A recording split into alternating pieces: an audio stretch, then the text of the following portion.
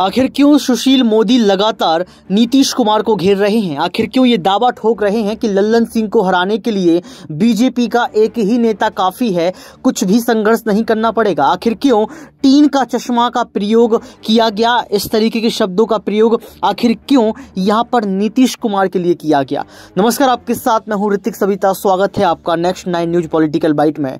दर्शकों, बिहार की राजनीति में एक बार फिर से दूसरा खेल देखने को मिल रहा है। यहाँ पर जी हाँ आप सही सुन रहे हैं। सुशील मोदी ने जमकर नीतीश कुमार को घेरा और ये कह दिया कि उनकी आँखों पर टीन का चश्मा लगा है। पहले आप सुनिए कि किस तरीके से हमलावर हैं और लल्लन सिंह का भी ज़िक्र करते हुए यहाँ पर चुनावी रणनीति को बता देते हैं।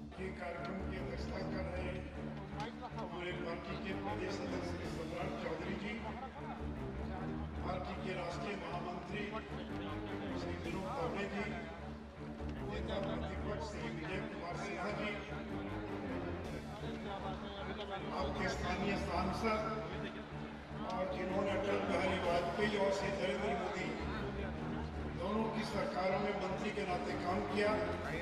ऐसे मेरे चालीस साल पुराने मित्र श्री प्रसाद जी, भारत सरकार के माननीय मंत्री श्री भानु प्रताप सिंह वर्मा जी, माननीय सांसद श्री नीरज शेखर जी मंच पर बैठे तमाम नेतागण और पहली बार पटना के, पटना लोकसभा के कार्यकर्ता इतनी बड़ी संख्या में पर उपस्थित हैं। मित्रों, बहनों और भाई।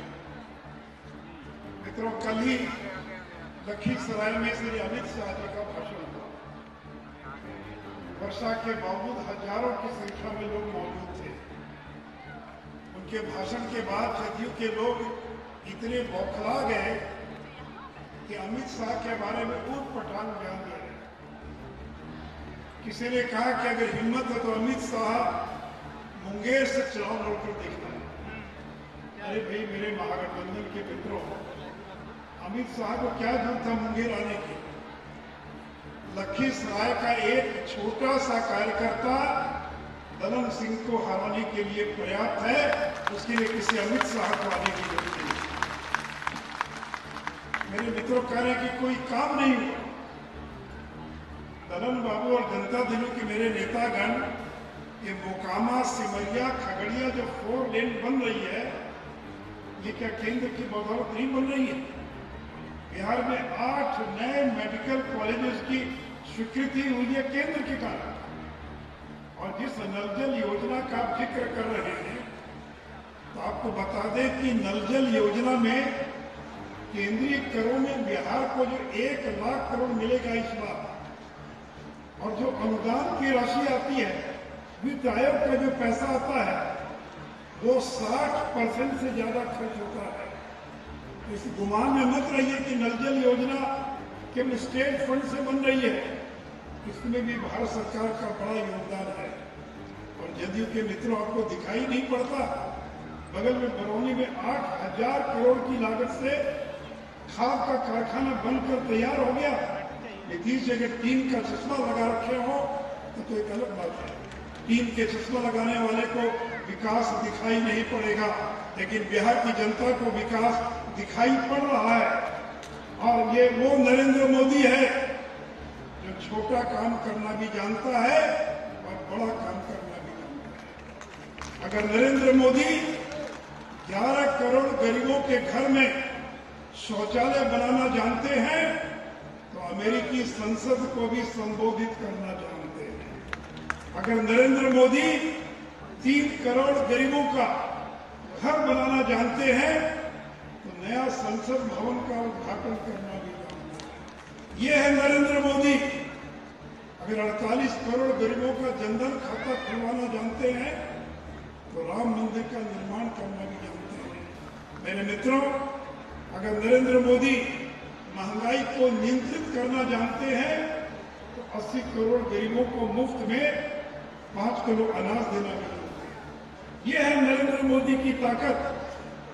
प्रयाग में जब कुंभ का मेला लगा तो वहाँ जो सफ़ाई कर्मचारी थे, जो दलित समाज से आने वाले थे, उन दलित समाज के सफ़ाई कर्मचारियों का अगर पाँव होना नरेंद्र मोदी जानते हैं तो सर्जिकल स्ट्राइक कर 40 का बदला 400 से भी लेना चाहते हैं। ये है ताकत नरेंद्र मोदी की। अब तो नरेंद्र मोदी ने ऐलान कर दिया कि कॉमन सिविल कोड आएगा। हमारे विरोधी घबराए हुए हैं। मैं जानना चाहता हूँ जनता दल यू के लोगों से, राजद के लोगों से, आपको क्या परेशानी है? और मैं यहाँ के कार्यकर्ताओं को से पूछना चाहूँगा अगर हिंदू लड़की की शादी की उम्र 18 साल है और मुस्लिम लड़की की 16 साल है तो क्या लड़का लड़की की एक उम्र होनी चाहिए कि नहीं होनी चाहिए?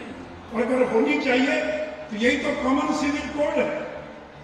अगर हिंदू पति एक शादी करेगा तो मुस्लिम पति चार शादी क्यों करेगा?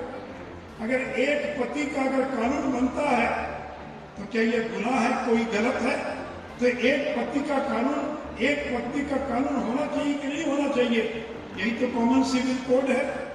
मित्रों, तलाक तलाक का क्या समान कानून नहीं होना चाहिए?